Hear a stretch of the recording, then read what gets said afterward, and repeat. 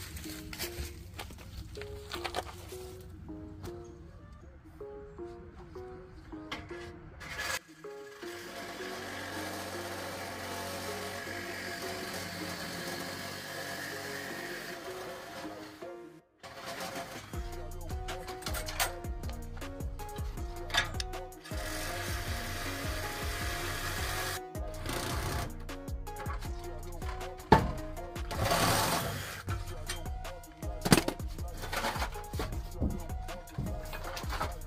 Gotta